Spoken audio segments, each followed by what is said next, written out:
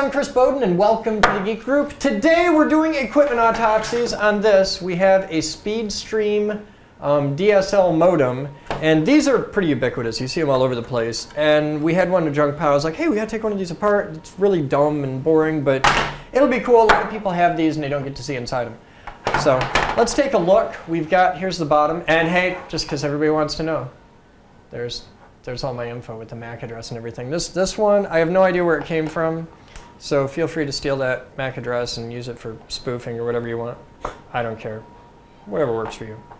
So let's open it up. One screw in the bottom. This is like the lowest common denominator of manufacturing, I'm sure. There's one screw, maybe, oh, no, I think we've got a second screw. If you look, right there, a little dent. Ah, secret screw spot, so just stab right through it carve it out a bit. Ah, there you go. I have no love for this because I hate the uh, phone company with a pretty serious passion. Because DSL is a horrible way to connect to the internet. I'm a huge fan of Charter.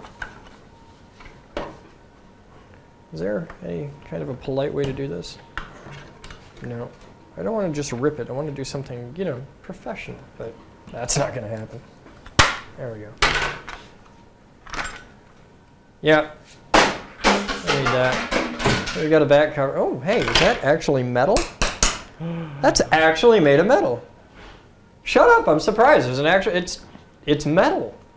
It's like what, stamped aluminum. What is this foreign substance I see before? Shut up! It's metal. I'm impressed. The whole thing's plastic, except for this one backplate that's a rather serious piece of aluminum. Cool.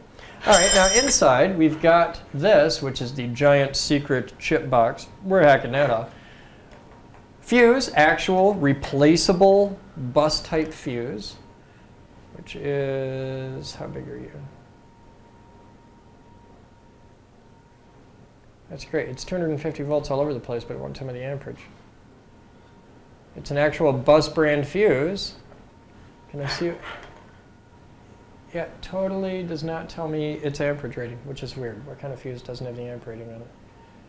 Bus, and like half a dozen little happy symbols. There's a heart there, and a circle, and a backwards RU, and a V, and at no point, not even on either end, does it give me the amperage rating of the fuse. This is the dumbest fuse in history. Let's check the other end. 1 amp, T1A. So it's a one amp fuse. It's, that was hard. It was a pain to get that off there. Are you, you mocking me? Huh? You mock? Oh. That's like a useful skill. It's the most important thing you'll ever learn in college is how to snap a bottle cap. Everybody Stop needs it. to If I, you're lucky I don't have any pennies. Oh man, if I, I'm like death with a nickel. Yeah, all I got is quarters, and you're not worth it. Good. Uh, I'm okay with that. All right, let's look at the board and see what we got. We've got down here, power connector, on-off switch. I think that was the on-off switch. Wild, but really, what other switch would you have on here? Um, Ethernet port, and then the phone port. We look on the board, and we've got a couple, what are you? 102K, 2 kilovolts. That's really, that, there's no way that's rated for 2 kilovolts. That's got to be, those got to be capacitors those are caps. We've got the fuse. Um, we've got a Winbond chip here, which we can identify as a 222 delta gamma Winbond chip. We got this great big thing in the middle. I don't know what that is. That's got me curious. Um, over here we've got a these. You'll see these a lot. Little metal can. Now the heights on them will vary. Um, the biggest you typically see them is about this high, about it actually very closely resembles a chiclet candy. But uh, this is a, usually as big as you'll see them, but you'll see them a lot shorter. Sometimes you'll see these where they're only like uh, maybe an eighth inch tall.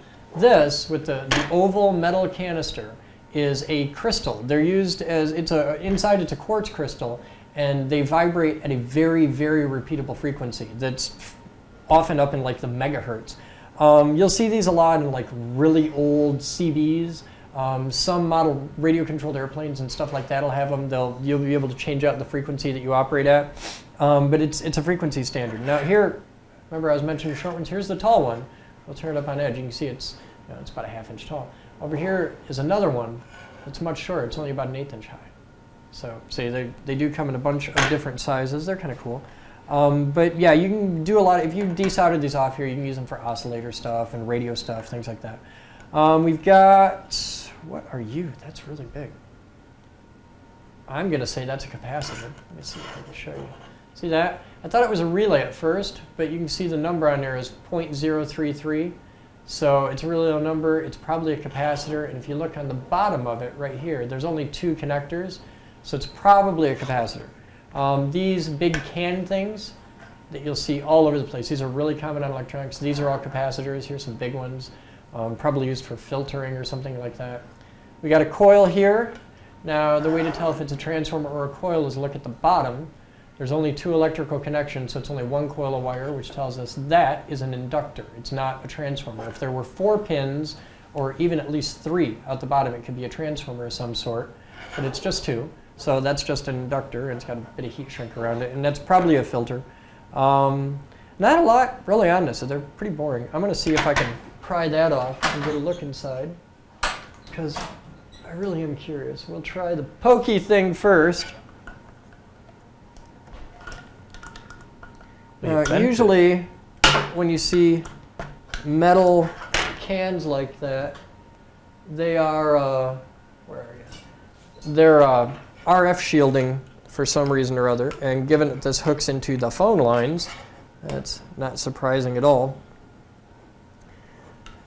A lot of things dealing with telephone technology or computer technology work in the radio frequency ranges, and you can get a lot of interference. So they require that uh, at part 15 of FCC rules, which pretty much everything that plugs in a wall has to be certified to these days, um, requires that a lot of stuff meet certain guidelines as to how much interference it'll broadcast unintentionally and they have to not only limit how much they broadcast, but they have to um, be tolerant of anything. So it's like we can't broadcast anything, but we'll accept any crap you throw our way. And that's that's the very simple version of Part 15 of the FCC rules. Now we, here's the chip. It's hidden under there. It's a big Virata chip, a helium-210. I have no idea what that is, but oh, oh, hang on. See that right there? ARM. That tells me this is a little computer chip. It's probably a ARM processor. Um, it's a it's a processor chip similar to like uh, well, this most closely would be related to like a VIA processor on like a really tiny computer. Um, this widget, this board, is probably a very simple computer that runs some flavor of embedded Linux or another embedded software system. But yeah, a, a lot of things are like that. Like you'd be amazed how many VCRs and microwaves and DVD players and things like that actually run a very tight, compact version of embedded Linux. So that's, that's pretty much all you can really learn off one of these. There's not a lot to it. There's, oh, this is neat. Check this out. You don't see these very often. I'll share this with you guys. I just, I like, I like taking stuff apart like this and sharing it with you guys. And wow, I just ripped that one completely apart. All right, I'm gonna see if I can get one off intact. But here's, there's the baby version. That's, that's the inside, little inductor. These are in a big case, and if I can get one off hold, they look really cool. Ah! All right, well, normally that would be down inside that. So here, I'll show you how it's supposed to look before I totally pooched it. All right, there, see? Now, isn't that neat? It's just cute. Little tiny thing, it's about as big as my fingernail, see? But it's cute. It's this little hair thin, it's got to be like maybe 30 gauge or smaller bare copper magnet wire on a little ferrite core. The, uh, the cores that a lot of inductors are wound on are made out of ferrite. It's basically a powdered iron that they sinter into shape. They like press it and sinter it into shape. What? What's with the face? This is neat. We're talking about some neat stuff here. I know you don't care, but you know, there's people that do. Somewhere out there, there's a 12-year-old kid who thinks no, that that's the coolest video ever. I was wondering though, what I wasn't making fun of the kid. I'm making what? fun of you. Um, oh well, that's all right then. What is the point of ferrite core on like uh, the ends of a cord or something, just to prevent interference? Yeah, it's like, uh, like oh man, do we have a cord with a ferrite no. bead on it? Um, you'll see ferrite beads. They clip on on cords and that a lot. And what it does is it suppresses high frequency transients. Like usually that'll be like on a power cord, Yeah. um, where the frequency, the mains power going in and out is always 60 hertz in, in America. Some parts of the world it's 50, but it's really low frequency. Mhm. So they'll put a ferrite bead on there, and that stops all the high frequency trash, the noise coming down Okay. the power line. So yeah, you'll see them a lot. Um, ferrite beads are used for it's a it's a low pass filter is the best way to for, for a video guy it makes Mhm. sense to you. It's a low pass filter basically. So yeah, that's our look at I totally I threw it all away. Oh well. So that's our look at the inside of your DSL modem, standard SpeedStream model like used in the United States. You guys have fun? I'm Chris Boden with the Geek Group. We'll see you next time.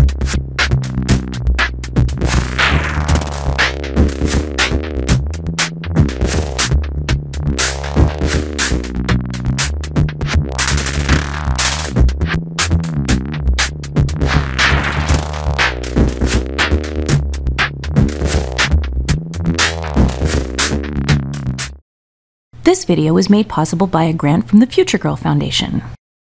This video was made possible by thousands of private donations from members and viewers like you. Please visit thegeekgroup.org for more information on how you can donate and become a part of our dreams of Avalon.